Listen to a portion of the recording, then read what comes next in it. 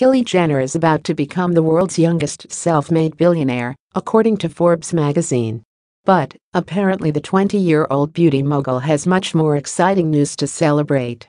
Life and Style has today reported that the Kylie Cosmetics founder is expecting her second child with rapper boyfriend Travis Scott, 27.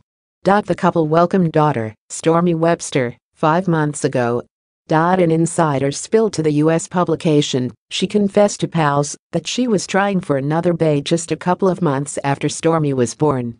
Kelly said she'd love for her daughter to have a sibling to play with sooner rather than later, the source added. Now everyone's talking about how she's already showing signs of pregnancy. Dot the Keeping Up with the Kardashians star previously revealed that during her first pregnancy, an In-N-Out burger was her weakness. It just tastes so good, she said in an interview. A friend told Life and Style, Kylie has been craving donuts and an In-N-Out, and she's been super emotional.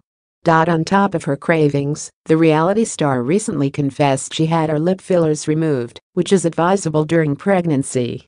According to the publication's report, Travis is thrilled with expanding their family. Travis is doing backflips, says the source. He can't wait to spread the news. Since having Stormi, Kylie and Travis are getting along better than ever. Dot and she's convinced that having another baby will bring them even closer together.